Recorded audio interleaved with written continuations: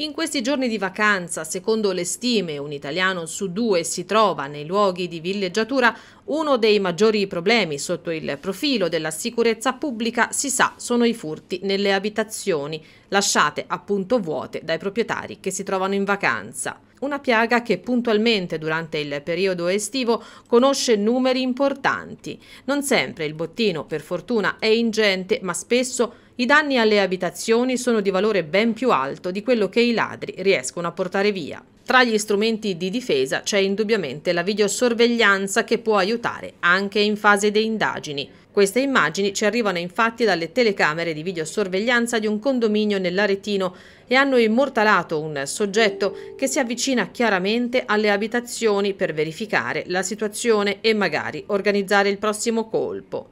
I cittadini avrebbero segnalato anche un'auto con la quale i malviventi si muovono. Immagini e segnalazione formale sono già sul tavolo dei carabinieri che stanno portando avanti le indagini.